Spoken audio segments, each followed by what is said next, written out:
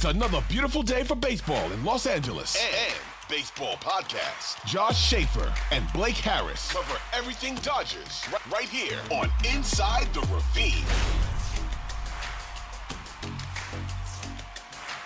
How is it going, everyone? And welcome to a brand new episode of Inside the Ravine. Joining me, as always, my co host, Josh Schaefer. Josh, you really kind of uh, messed things up by uh, recording today because had this been a couple days ago, we could have added a brand new location to mm-hmm. the ever growing uh, Where in the World is Josh recording today's episode from? You were in Big Bear, but you're back now. So, uh, first question at hand is how was Big Bear? Because I haven't been there in like five years. I love going. I know people prefer going in the winter as opposed to kind of like the summer, but how was your Big Bear experience this time around? Well, it was good. It was good. I was there last summer. Um, we took our rain retreat there. So our, our, our office went and uh, took a few days. It was it was cool. Um, I went last year for the same thing. When we were in college, I went. I want to say at least at least once to go up there and go skiing. It was in the winter. But all that's very different from when I used to go up there because my grandparents used to live up there. I had a couple aunts and uncles up there. My grandparents owned and operated a restaurant, so we used to go up during the holidays and like help them set everything up. It was a cute little family restaurant. So we used to go up all the time and like ski and stuff. So definitely different from how it used to be. Um, last year, the lake level was very low. This year, it was pretty high compared to the last time I saw it. So, um, so yeah, so it was nice. The weather was the weather was great and uh, good to be outdoors for a couple of days. Yeah, you should have done a show from a kayak out in the middle of Big Bear Lake. That would have been, been first. That would have been fun. anywhere to plug my mic in, but Ooh yeah, that's that's where our yeah. problem lies. But Josh is back. We're back talking all things Dodgers. A lot to get to today, Josh. A lot has kind of transpired over the last week in regards to the games, the news, injuries, all that kind of stuff. So a lot of Dodgers stuff to get to today. But before we do, make sure you guys find us on social media. Give us a follow. We're on Twitter slash X we're on Instagram. We're on TikTok. You guys can also watch our full episodes on YouTube. Just search Inside the Ravine. You guys can find us there. You guys can also listen to the episodes wherever you get your podcasts. We're on Spotify. We're on Apple. We're on the Odyssey app. And again, if you guys want to watch our full shows, you can find them over on YouTube as well. Josh, as I just mentioned, a lot of things to get to. I kind of don't even know where to begin, but I'll just start with the fact that the Dodgers keep winning. They just had a six game road trip. They went to San Diego, went to Arizona. They come back from the road trip going 5 and 1. It honestly could have been a perfect six game sweep had Yency Almonte done his job in the eighth inning on Saturday night.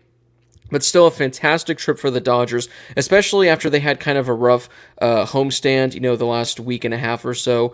All of a sudden now, Josh, the Dodgers are six games in first place. They lead the Giants. Essentially, every team in the NL West has been falling ever since the All Star break.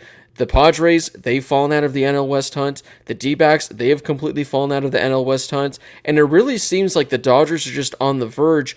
They played the Rockies for four games this weekend. I think the Giants are playing the Rangers for three. If the Dodgers just take care of business against the Rockies, it really seems like, you know, I don't want to get ahead of myself, Josh.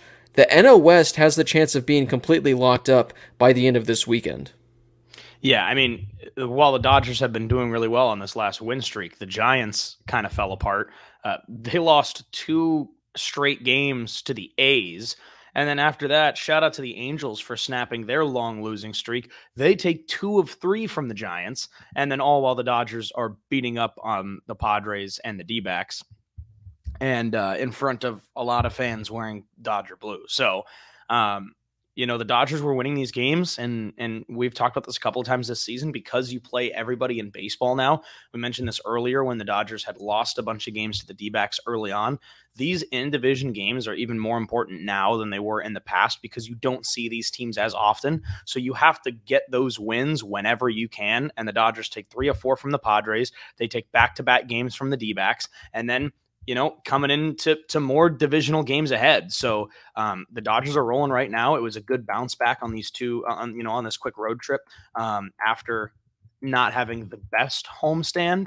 Um, but now it's right into another divisional matchup. Rockies at home for four straight um, before you start facing some teams from the East. So again, you just want them to win games if you're a Dodger fan, obviously. But if you're taking games from division rivals, especially a team like the D backs, who at one point was ahead of you in the standings, was close right behind you in the standings.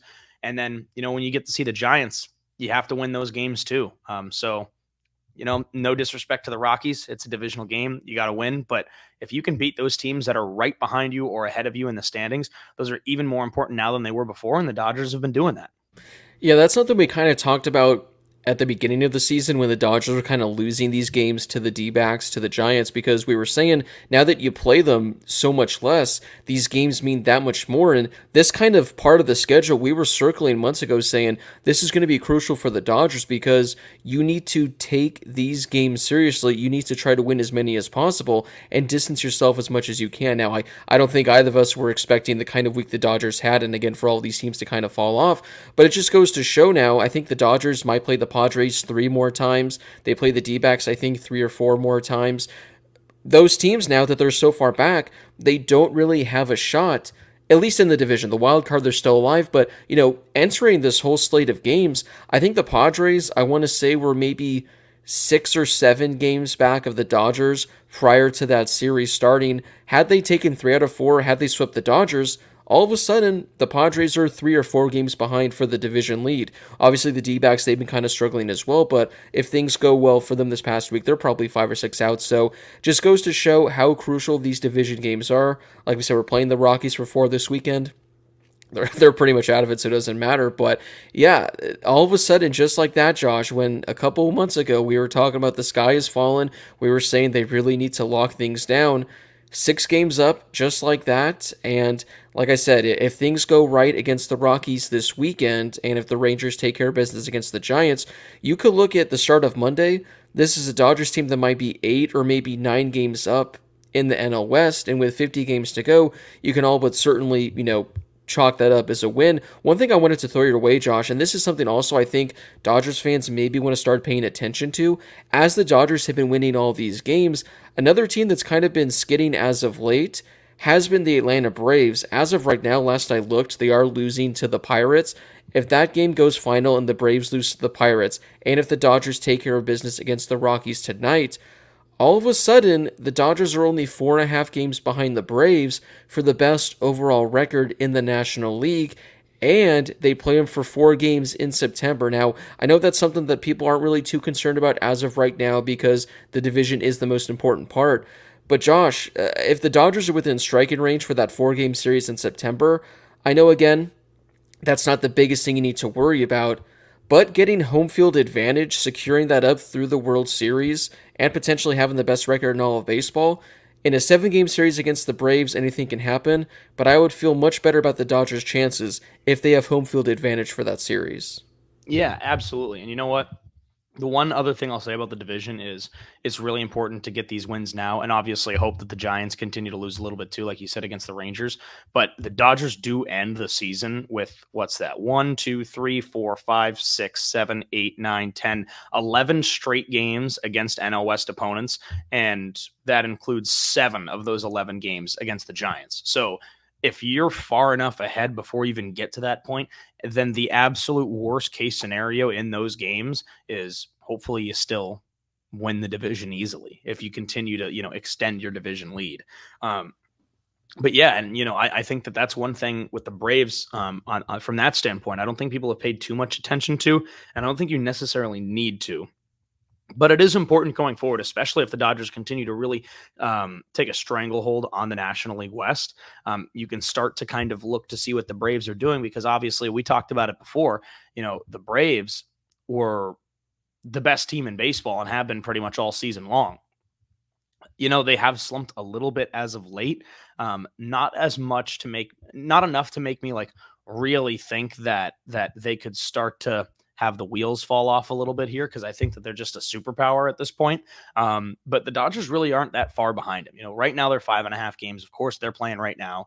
Um, but look, I mean, it's important. It's not the end of the world, but obviously it would be nice to have the Dodgers in their back pocket, knowing that if they continue to progress through the playoffs, then you can have that home field.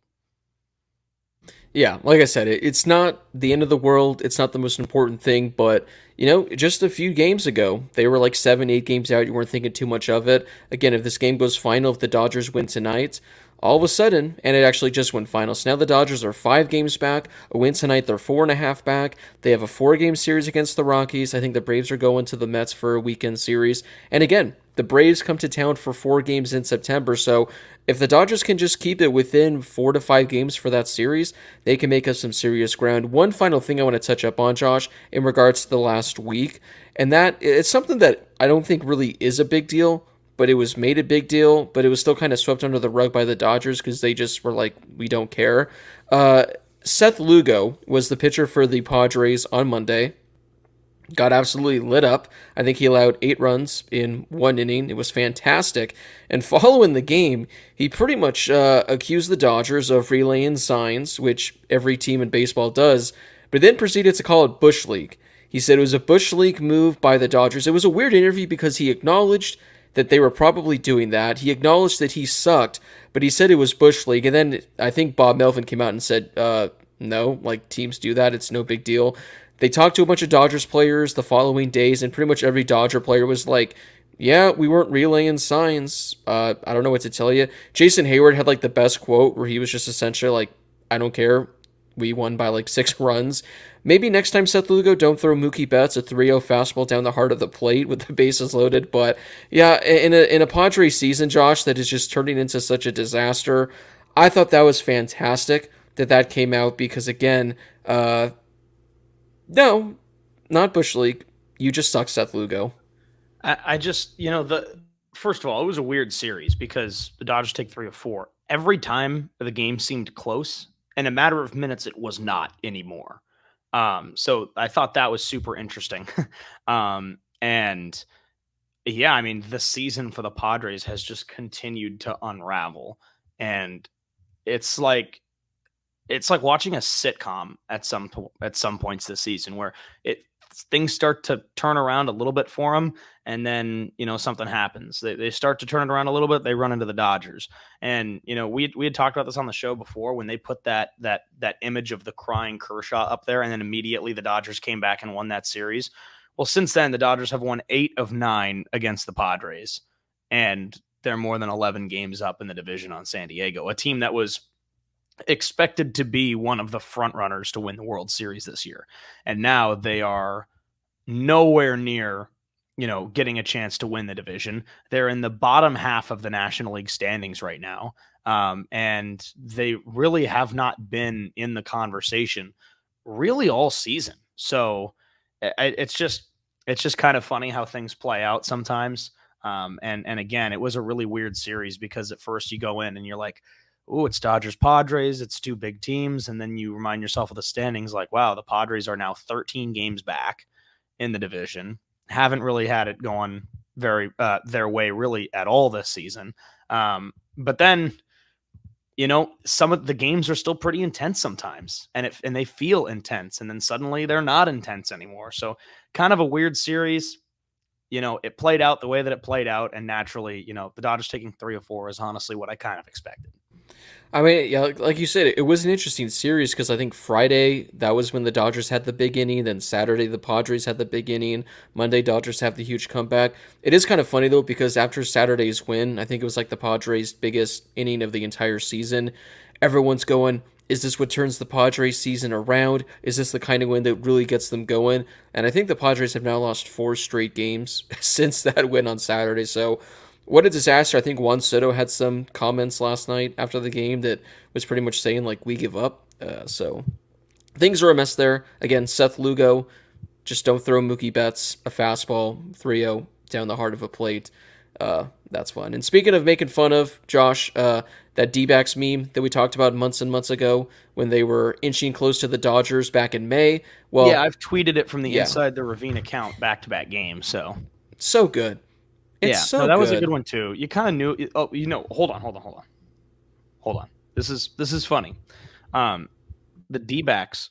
Oh, you tweeted it too from your personal account. That's funny.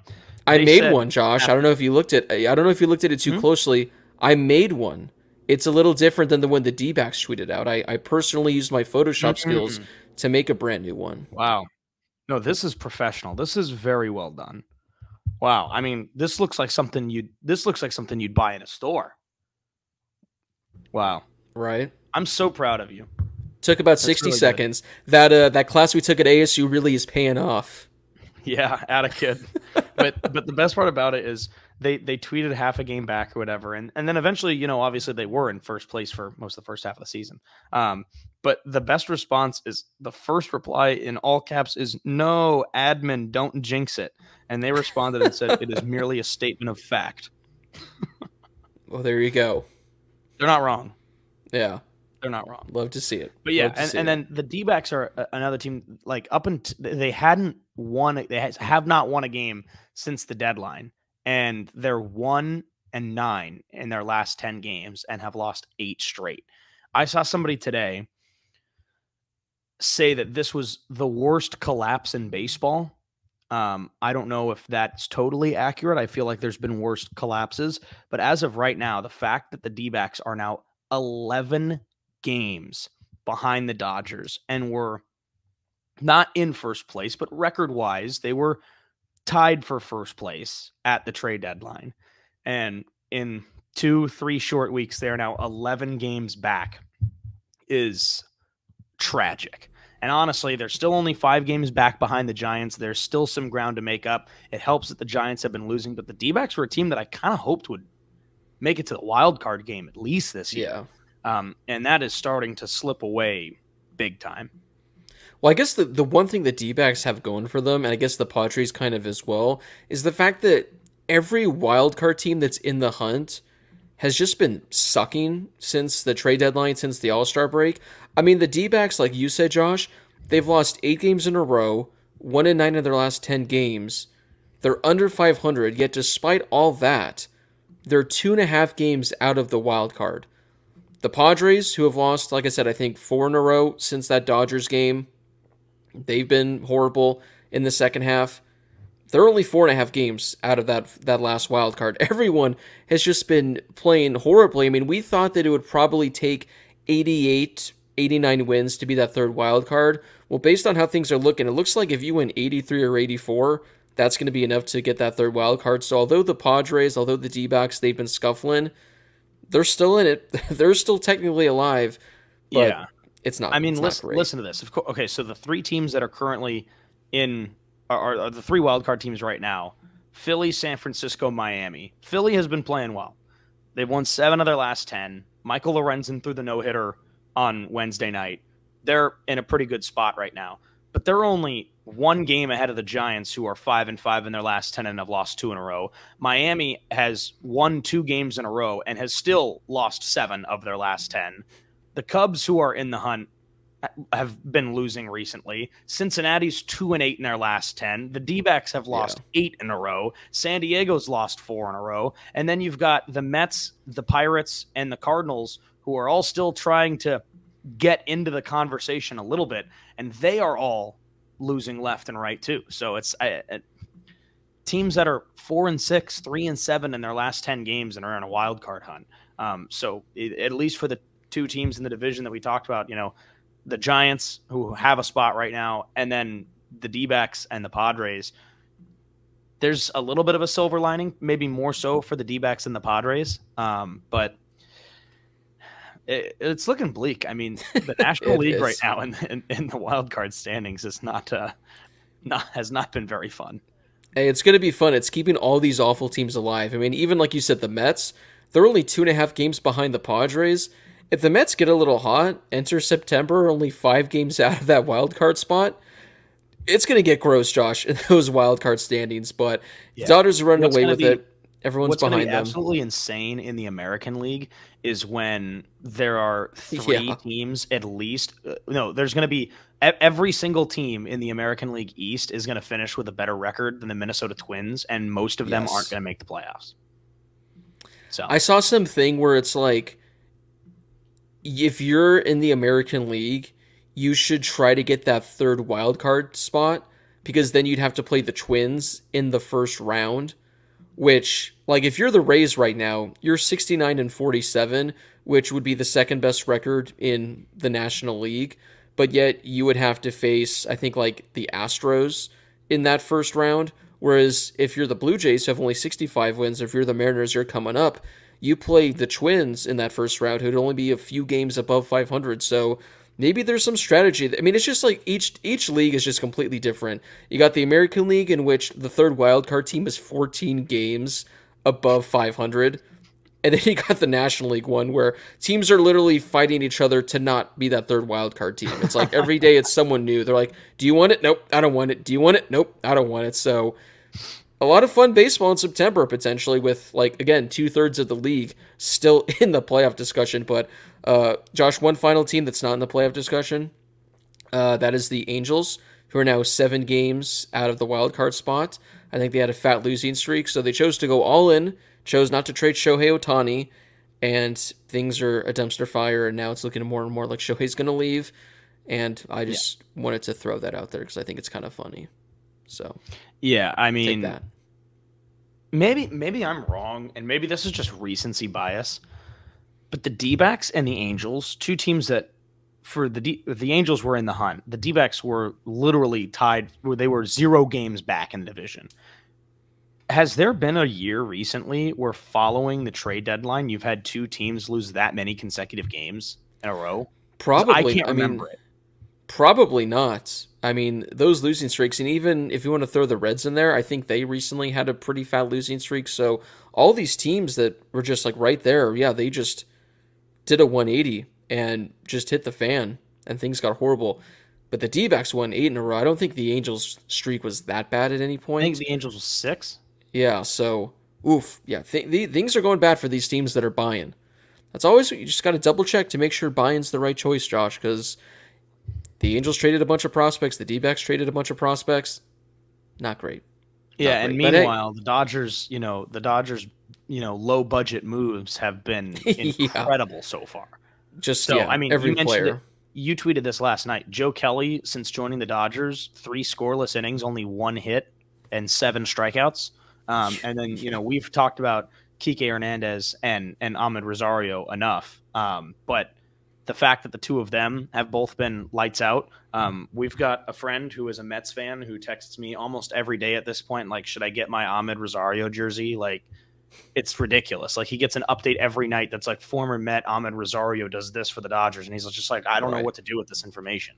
So I mean, you've got these guys that have just been so good for the Dodgers since the deadline. Right. And really, like, you look at some of the other arms. I mean, Bobby Miller was terrific for the Dodgers on Wednesday against the D backs. And you know what? Merrill Kelly was really good too for Arizona. I mean, that was such an entertaining 0 0 game through like seven innings.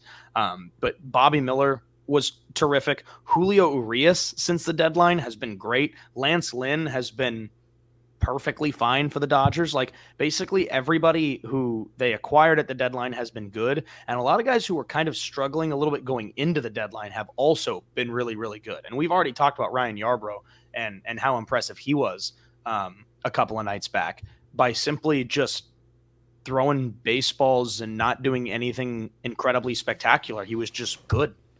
87 mile an hour heaters, Josh. Yep. Heaters.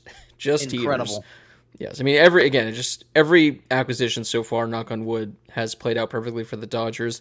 Their trade deadline is looking like an absolute genius because again, I they're they're winning. They they've made up so much ground since the trade deadline, and every one of those guys has contributed. We're gonna take a quick break, Josh. When we come back, briefly talking about a new addition to the Dodgers, maybe coming a few years from now 2025 2026 and the latest injury news because we actually have a lot of updates on a number of guys so quick break, and we're going to get to those. All right, Josh, we're going to get to uh, a pretty big signing that transpired the other day. I guess it was officially made official because it's in the Dodgers transactions log. Officially made official. You like that one, Josh? Should I trademark yeah, that? It's uh, officially uh, official now. Now, this is something we said before the show. For those that know me, for those that have listened to shows or, you know, our, our college football show that we used to do, I am awful with names. Unless you have a simple awful. name like Josh, John, Bob, Blake, even my name I have to, you know, double tank a few times. I'm awful with them. Well, I'm going to do my best here, Josh. We practiced this beforehand. I can't make any promises, but the Dodgers did sign 19 year old Hyun Suk Jung to a contract. So there you go. Hyun Suk Jung. I'm trying. That's Hopefully good. that's right. Hopefully that's that's the right one. And we don't have a whole lot to offer on this guy, Josh, because there's not really much we can really dive too in depth on. But here is what Dodgers fans need to know. He is 19 years old. He was projected he was projected to be the number 1 pick in the KBO draft I think next month. Instead, he's going to bypass that. He's going to come to the Dodgers. Again, the fact that he's 19, he's fresh out of high school. I don't think we're going to be seeing him like, you know, how a lot of these guys come over, we see them right away. I don't think that's going to be the case. It's probably going to be a couple years until we get to see him. But from what I've heard, it's essentially the Dodgers had like a first or a second round pick in this past MLB draft that you're just thrown into the minors and it'll be in a couple years because a lot of hype surrounding this kid. Apparently, he touches 97 already. Again, 19 years old. So, this is a name that Dodgers fans need to remember, not for next year, but maybe 2025, maybe 2026, because this is a massive, massive signing that the Dodgers managed to pull off this week. Yeah, absolutely. I mean, and he's young. Like you said, he's 19, but he's already reportedly hit above 97 miles per hour on his fastball. Um, so again, you know, I think at some point it's we'll go back to my phrase that I seem to always say, especially when we talk about the future, but let's pump the brakes a little bit. Um, we'll see, you know, how this transpires. Again, he's young, he's still gonna be um, a, a work in progress, but it looks as if, you know, right now, um, you know the good good signs are there there's a high ceiling for him and obviously he's still very young and he still needs to come over to the united states and he still needs to get some work done but um, kind of exciting to see the dodgers go out and make a move like that um, and, and, and try to get a, um, this kid from from asia to come over and play and like you said he's expected to be the number one overall pick in the korean league this year um, so who knows could be could be an exciting um, prospect for the dodgers and obviously the uh, the prospect pool and the Dodger system is perennially strong, um, and you're just adding another option to it. The the pitching depth in the minors gets even stronger. So again, we're not going to see him probably for a year or two at least, but definitely need to kind of keep an eye on at least for the future. Josh, we have some injury news to get to before we wrap things up, and this is some pretty significant development that has transpired over the last couple of days. The first one I want to get to is Walker Buehler, a guy that we've talked about numerous times this year. He's usually brought up in like a Q&A kind of question. There was some hope that he would potentially be back for 2023. I think you and I both kind of were on the same mindset that he's probably going to be back in 2024. 2023 seems a little far fetched, especially considering he underwent his second Tommy John surgery last August. Well, yesterday in Arizona, he threw off a mound. He threw to hitters, threw about 15 to 20 pitches, only threw one inning. And Josh, by the sound of it, it pretty much sounds like it's not a matter of if he comes back this season. It's just a matter of when. I know that he set himself a targeted September 1st date that he'd want to return for the Dodgers. He came out yesterday and said that's probably not likely going to be the case, but he said on September 1st he is going to be throwing professionally to hitters. It's just that it's probably going to be somewhere in the minors. So, by the sound of things, Walker Buehler at this current trajectory, I think he still has to throw maybe four or five more bullpen sessions. Then he's going to go on a rehab uh, assignment. But middle-ish of September, it really sounds like he could be back in the Dodgers rotation, which would be an insane addition. I, I didn't think that would be the case. It's kind of like a trade deadline acquisition by adding another starter. So, Josh, what are your thoughts on all the positive news that we've gotten from Walker Buehler over these last couple of days that he might be back in four to five weeks? Yeah, I mean it's it's great. I mean, absolutely terrific for him. Like you mentioned, that September first date when he was asked about, he was like, probably not. But um, but yeah, you know, again, if he's actually throwing by then and in a game situation, I think that's great. Probably be on a rehab assignment. Um, so and and I think that that's really good. My thing, and somebody brought this up to me the, the other day. I, I'm curious to see how quickly the Dodgers want to integrate him back into game action, regardless of where he has his rehab stint. Um, typically, when a guy's coming back from a longer injury like that, I feel like you'd rather see him in Oklahoma City rather than on a quick thing to to Rancho Cucamonga. Um, but you know, for for Buehler, I wonder how quickly the Dodgers try to get him integrated back in because I think the last thing you want is a repeat of what happened with Dustin May, where Dustin May comes back at the end of last season and very early on at the beginning of the following season, he's out again and done for the year. Um, so I feel like the Dodgers are probably not going to want to rush Walker Buehler back into anything. Um, because of what's happened in the past with other players. And I understand completely different guy, completely different situation. I get that. But for me personally, it still causes me to be a little bit cautious bringing him back in. First and foremost, it's good to see him throwing again. I hope that he is brought back to the Dodgers at the big league level this season, at least in some capacity. But I'm curious to see if they do actually want him to be back in the rotation or if they end up going a, in a little bit different of a route. Yeah, I think he was asked about that, and I think Dave was asked about that too. Pretty much like could you potentially just use him out of the bullpen because that way you only have to build him up to go one inning? But it pretty much sounds like they don't want to do that. They'd rather build him up as a starter, which I guess makes some sort of sense because that way you have him going every fifth day. He has his normal routine. Whereas if he's coming out of the bullpen, I don't know how much more work that's going to be where you got to get him built up to go back to back days, three out of four days, something like that. So it sounds like as a starter is the direction the Dodgers want to go. I think they're probably maybe going to want him to go maybe four or five innings because, again, the fact that he's only able to go one now, you still have to build him up a lot. But if by the time October rolls around, if he's able to give you four or five innings, you can just bring Ryan Yarbrough out of the bullpen and have him kind of like piggyback him, you know, in that kind of scenario. You don't you don't need Walker Buehler to go seven or eight innings. It'd be great if he did, but I think the Dodgers would be just fine. I think I saw something else that suggested maybe they decide to use him as an opener where he can give you two innings to start a game and then you proceed to go to Julio Urias or whatever your other options are. So either way, he'll be back in some form. It's just a matter of how they want to use him. But it sounds like if, if everything goes according to plan, Josh, he'll be back sometime middle end of September, which again would be a huge addition for the Dodgers starting rotation if they opt to go that route. But uh, I have hope, I have faith. It sounds like he's committed to it, and yeah, that that would be a huge huge addition for the Dodgers rotation. What would you do, Josh, if let's say he's able to go five innings? Let's say he's able to give you five innings. How would you pencil out the starting rotation for your top four guys in a playoff series? Oh man, that's tough. I feel like I would probably mix him into two to game two or three. I f- if everyone is back who we expect to be back, I think I'd position him in maybe two or three because if you put him in, um, I obviously I don't think you're going to put him at the top. I want the Dodgers to likely throw out a guy like Kershaw or Julio, somebody yeah. that you can put out there and try to get a lead in a series. And you know, obviously, I mean, no disrespect to Walker Buehler because we know the type of pitcher that he is, but it's just me being cautious of him coming back from a very, very significant injury.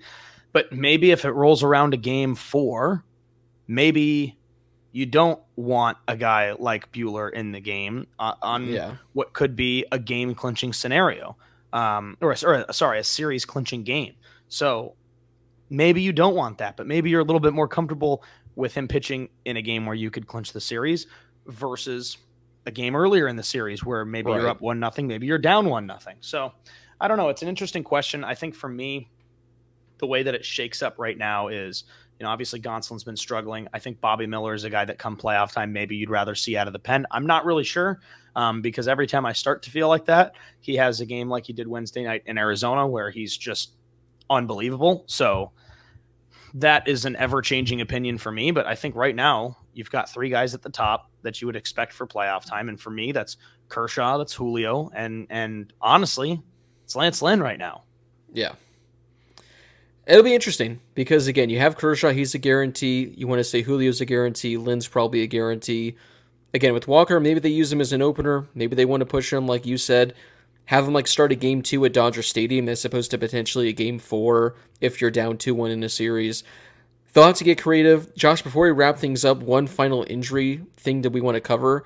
This one actually completely blew my mind. Walker, I had some hope for, but Blake Treinen, who has been nowhere to be nowhere to be seen this entire year, there's been like no updates on him.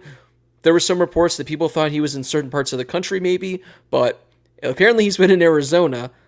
Josh, he might be back by the middle of middle end of September, and apparently he was pumping it harder than Walker Buehler was yesterday. So we talk about Walker Buehler, what an addition that would be for the starting rotation. But if the Dodgers are able to add Blake Treinen, a proven high leverage guy that has been phenomenal for the Dodgers, you have him as your seventh, eighth inning guy before Evan Phillips. All of a sudden now, this Dodgers bullpen, I mean, you want to talk about trade deadline acquisitions. This would be like picking up the guy at the trade deadline if the Dodgers are able to get Blake Treinen back for, again, middle, end of September. Yeah, this was a report that I did not expect to see. And and following up on that report, we saw how encouraging this sim, you know, thing was in Arizona, where Treinen had reportedly been in the 80s on his fastball, um, at least coming back um, into throwing again, and then in Arizona, he throws this um, he throws this sim game and is up to 94 on his fastball.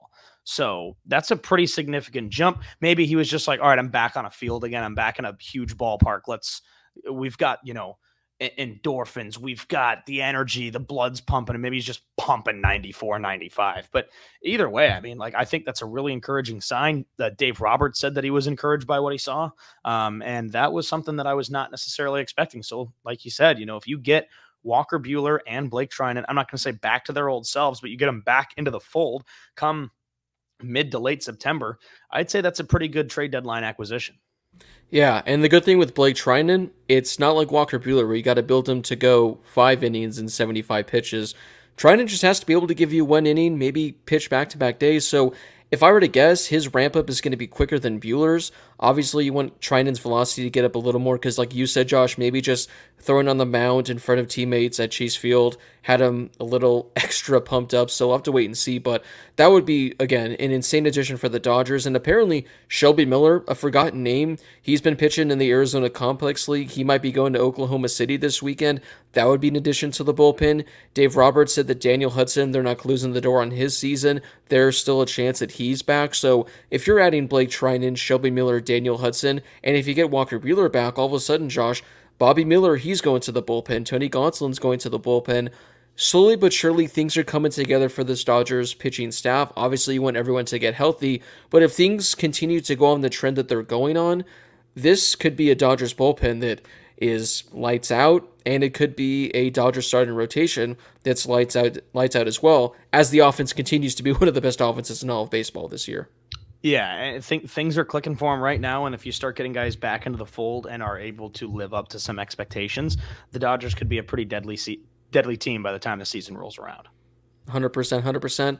Also, uh, JD Martinez still dealing with this whole injury that apparently no scientist or doctor has an answer for. Uh, it's like a groin thing. It's like a hamstring thing. Apparently, it happens in day games. He's hurt. The Dodgers' expectation is that he's back this weekend.